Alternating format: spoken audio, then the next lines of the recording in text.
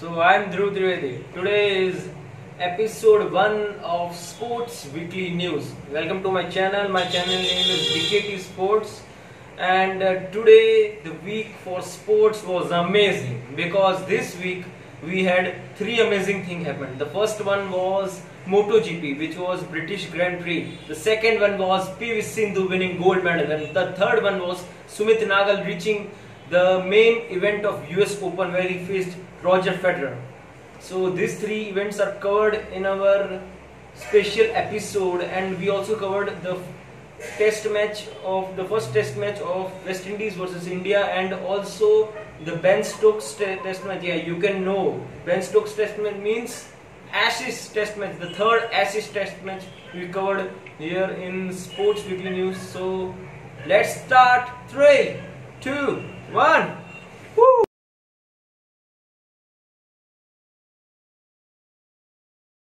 Cricket West Indies versus India.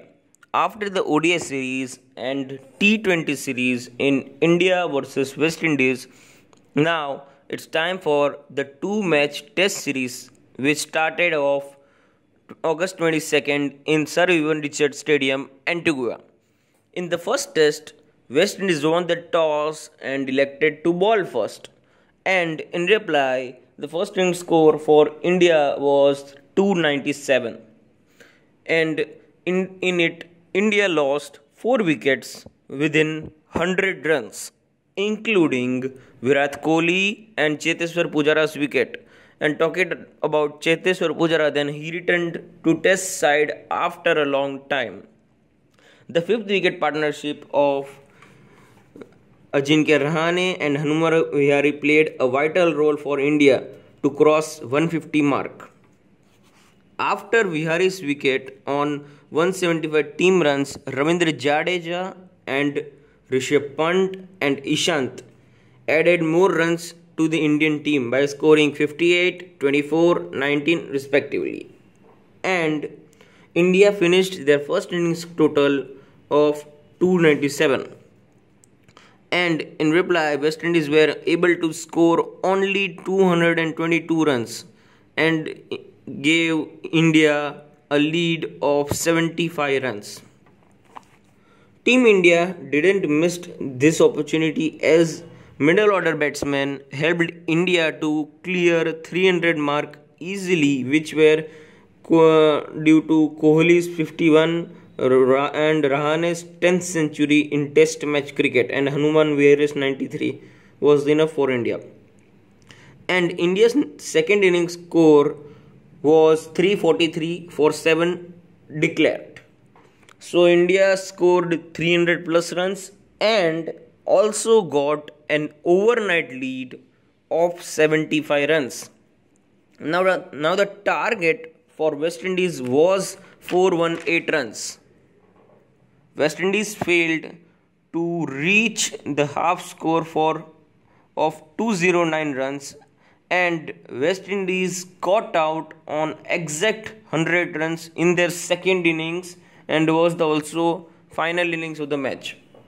From 11 batsmen, only 3 got scores in double figures, which were Roston Chase, Kemar Roach, and Miguel Cummins. And sadly, all three bowlers and the remaining 8 batsmen who came to the field got out in single digits and went back to the pavilion without adding some valuable runs to the West Indies scorecard, which forced West Indies to score only 100 runs. And they were not able to reach 200, which is the halfway mark of reaching 418 runs of target.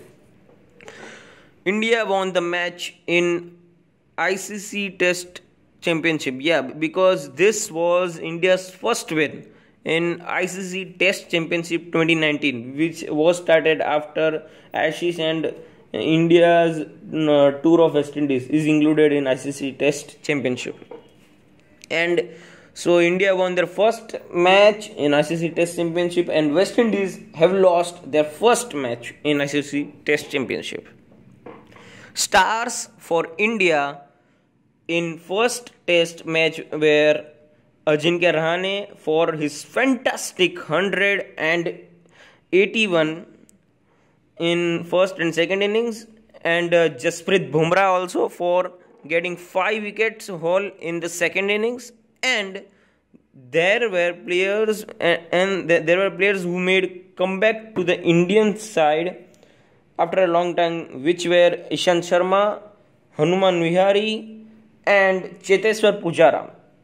From these three players only two performed extremely well which were Ishan Sharma uh, who got 8 wickets in the match and 5 wicket haul in his comeback innings and the second player who played performed uh, well after coming to the Indian side after long time was Hanuman Vihari for his total of 125 runs in the match and for scoring a fighting 93 in second innings which is also his highest test score. Even though west indies showed a poor performance in first test there was there were some notable performances from Kemar Roach and Shannon Gabriel and Roston Chase. India won the first test by 318 runs. Second test begins from 30th August to 4th September in Sabina Park, Kingston. England won the toss and elected to ball first and in it Australia got out within 180 runs in their first innings.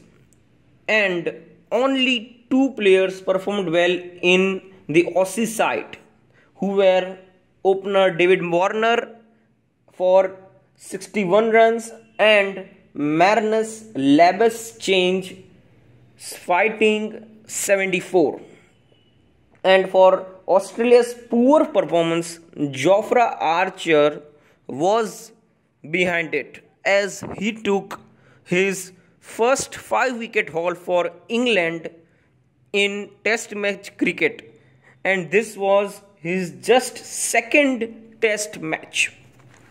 For England, it was a great opportunity to capitalize on Australia, but they failed terribly as England got out in just 67 runs and in every and everyone got out in single figures except Kent born player Joe Denley for scoring in double figures, which was only 12 runs.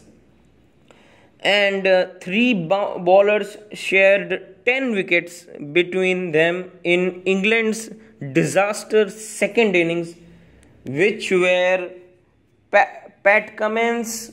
Uh, Joe Hazlewood for his 5 wicket and James Pattinson for getting 2 wickets.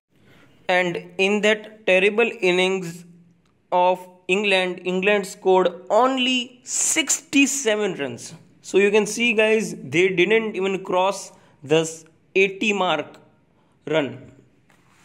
Australia uh, here got 246 runs in their second innings to have a target of 361 for England and possibly a 2-0 leads for the Aussies after England had performed poor, poor perform had given a poor performance in their first innings. So expectations from England were very low to draw the match as there was no question about England winning it but uh, Joe Root's boys went for the win. In the second and the final innings of the match, England lost its both openers in just 15 runs. Rory Burns and Jason Roy. And that was a bit of shock for England, I thought. But captain supported the innings and scored 77 runs after his golden duck because he had got a golden duck in the first innings when England's batting order had collapsed in 67 runs and he also got only 0 runs in his first innings but not this time as captain courageous got 77 runs and helped his team. And in the crease, he was supported well by Joe Denley's fighting 50 and both skipper and Denley stretched the score to 141 when Denley got out and both added 126 runs to their partnership and then Joe got out on 141 team runs. And then England's star player Ben Stokes entered the crease and then he was joined by Jonny Bairstow Uh, and both added 90 more runs to the team. When Jonny Bairstow got out on 36 run at 245 team runs and then a disaster struck for England as after a couple of good partnerships, England were finally in a game. But England lost 5 wickets in 41 runs, which was almost a nightmare for the England batsmen. And when the ninth wicket of Stuart Broad fell on 286 runs, then still England needed 73 runs with just one wicket. And in hand here, when any time, when any team is in situation like this, where they are on the edge, and then everyone, every team using the strategy strategy here is that they go for saving the wicket, not for the win, as they defend their wicket. But here a strange and unique thing Stokes did as he kept on striking boundaries which kept Aussies bowlers a little low and that helped Stokes and England to to edge out for the win after this England equal the series 1 1. Now it's all square. The first, so Australia won the first test, second was the draw at Lords, and England gets one win back in the third test. The fourth test will start on 4th September, and before it, Australia will play a three day practice match against Derbyshire from 29th to 31st August. That's all for cricket.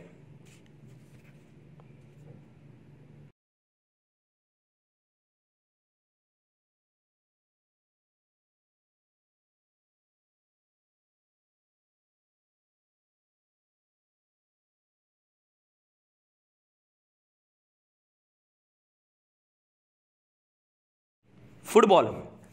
In football, major news was that 2019 UEFA Player of the Year or European Footballer of the Year was given to Liverpool's Virgil van Dijk for contributing to his team to win the 2019 UEFA Champions League and defeating Tottenham in the final and he was surely the best defender for his team last year, which won the award for him.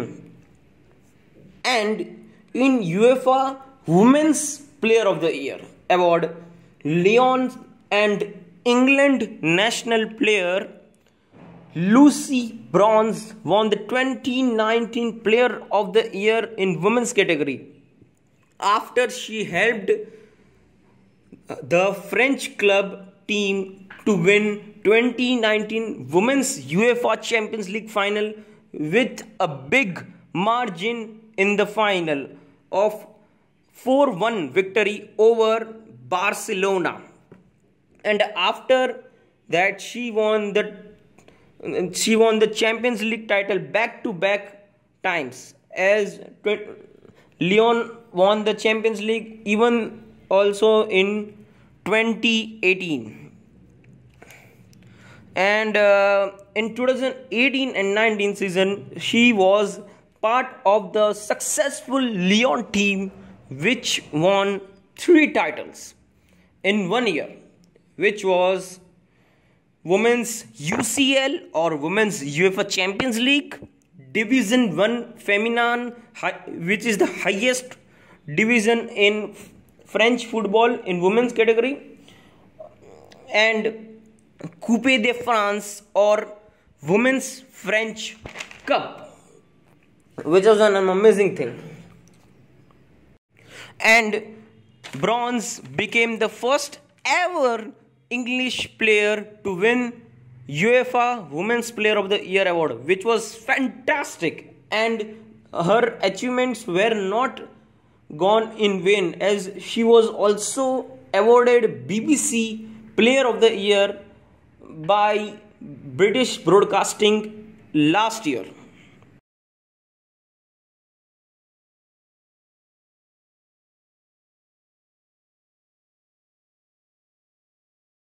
Second big news in football this week was that on 29th August, UEFA or European Football Association announced UEFA Champions League group stage draw, which was made in Monaco. So, in the draw, teams are divided in eight groups. Now, let's see the teams which are added to their respective groups. So, in groups, the first group is Group A. Group A teams are Paris Saint Germain, Real Madrid, Club Brugge, Galatasaray. Group B teams are Bayern Munich, Tottenham Hotspur, Olympiacos, and Crvena Zvezda.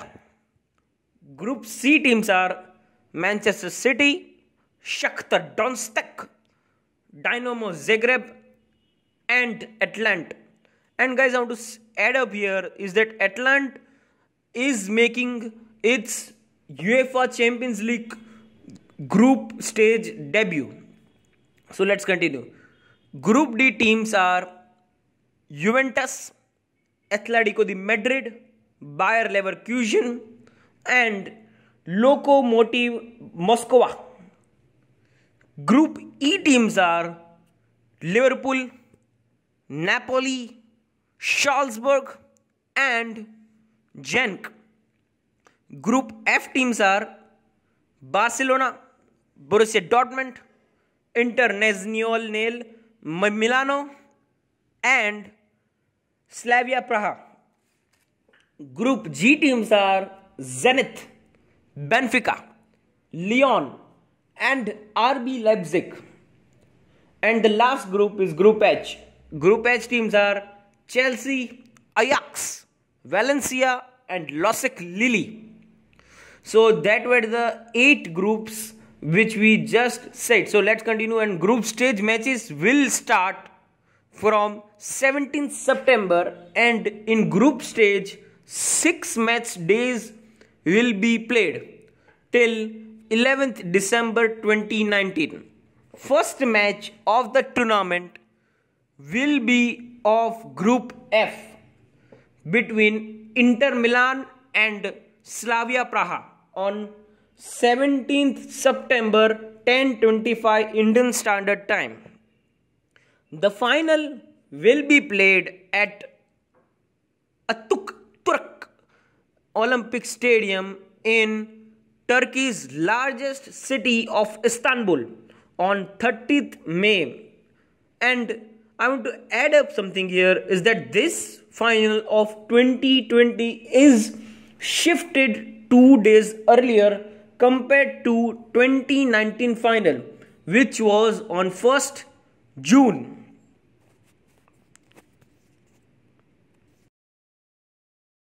Tennis. In tennis, US Open is going on and in it India's Sumit Nagal qualified for the main event in US Open. And in the first round he faced the great Roger Federer.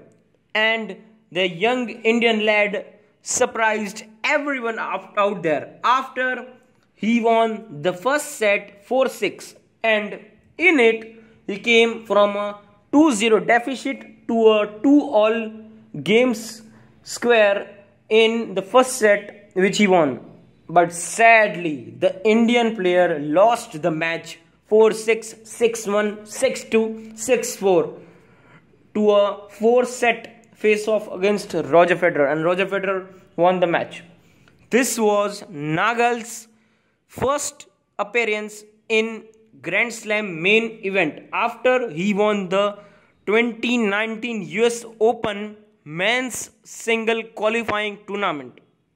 Sumit is also a junior Grand Slam winner as he has won a boys doubles Grand Slam in 2015 Wimbledon boys doubles with Vietnamese player Leo Hoang Nam. So this guy had some experience which was seen in the round one where he won the first set against the Roger Federer. Second biggest news in tennis was that British tennis player Andy Murray won his second game after a long time since hip injury which forced him to retire and eventually make a successful comeback in professional tennis. Murray defeated a trainee of Rafael Nadal Academy in Rafael Nadal Open and his name was Imran Sibille of France. Murray won the game 6-0, 6-1 and this tournament is a tier 2 tournament in ATP Challenger Tour and Murray played the Tier 2 tournament after a gap of 14 years as last completed as he last competed in a challenger was way back in 2005 when Murray was just 18 years old. And the year of 2005 was also the year when Murray turned pro. Murray also won the second match consequently in the Rafa Nadal Open against Norbert Gombos in round 2 but unfortunately Andy's run was stopped by better ranked Italian Viola Matteo in the third in a third set decider in which Andy won the first set 6-3 but the Brit lost the lead of 1-0 and lost the match 3-6 to 6-4 and 7-6 and Murray got knocked out from Rafael Nadal Open.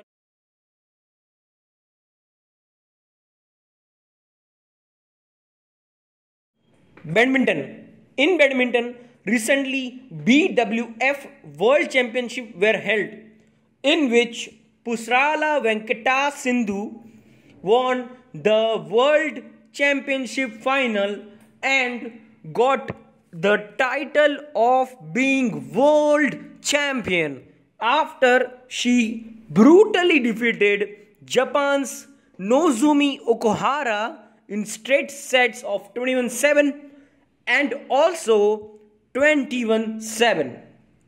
PV Sindhu now have become the only Indian till date to become a world champion in badminton.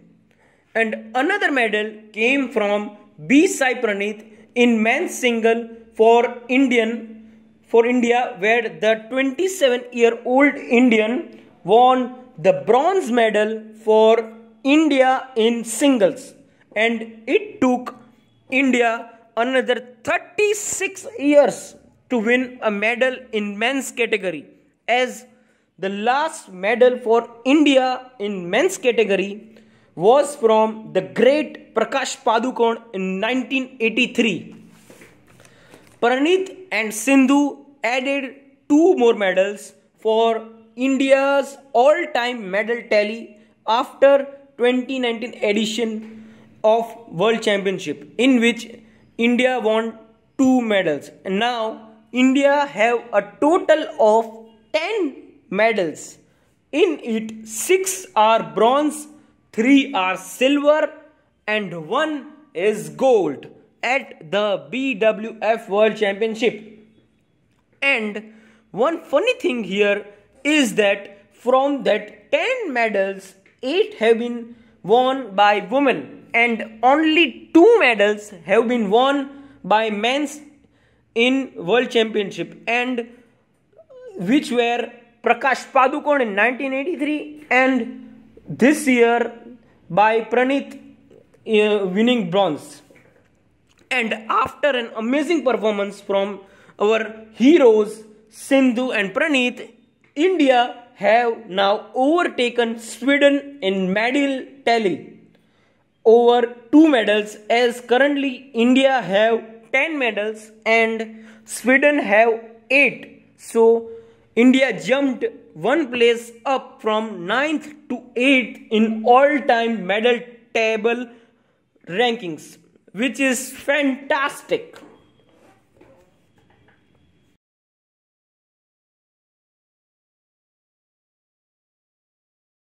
Moto GP. Now, guys, we are moving towards our last category in sport in this week's edition of Sports Weekly News. So, let's start. Spanish driver Alex Rins won his second Grand Prix of his career at Silverstone Circuit on 25th August this week. Now, let's see what happened before race day. So before race day, Repsol Honda and Marc Marquez had an off day during British Grand Prix race week as the Japanese MotoGP team and their Spanish driver got the double pole the, got the double pole position and fastest lap. But they missed the main thing which was the win.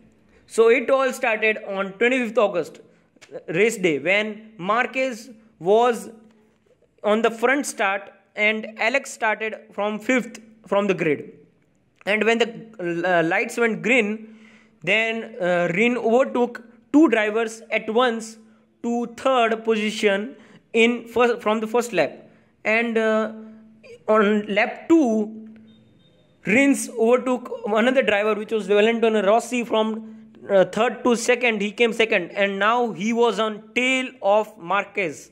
And he Rins kept behind Marquez till lap 7 when he got a chance to overtake and he did overtake. But Marquez was very sharp as he remained close to Rins and was successful in again overtaking Rins in lap 7 and uh, this continued till lap 18 which was the second last lap of the British Grand Prix when Marquez, Marquez rear was hopping and skipping which was a perfect opportunity for Rins who was behind him in second position as he overtook and he did it in fine fashion.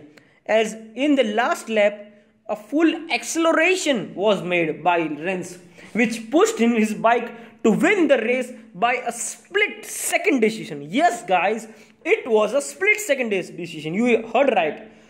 As Rins won the 2019 Motorcycle Grand Prix over Marc Marquez, who was leading the race till lap 19, or we can say lap 19.5, as he overtake Marquez in the last corner, which let him won the race by 13th thousand of a second Wow, that's amazing. Which is 0.013 uh, margin, which let him won 0.013 margin over Marc Marquez. So, winner of 2019 British Motorcycle Grand Prix is Rins.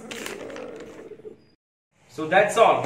Thank you for watching this week's episode of Sports Weekly News, and we will be back next week with another awesome episode of Sports Weekly News and this week's episode was amazing because we worked so hard we worked for almost two days for our 28 minute video which we published today. So guys, please like this video, share this video and subscribe to our channel and if you are liking this video and if you want to view more channels then please click the bell icon. So that's all and bye bye.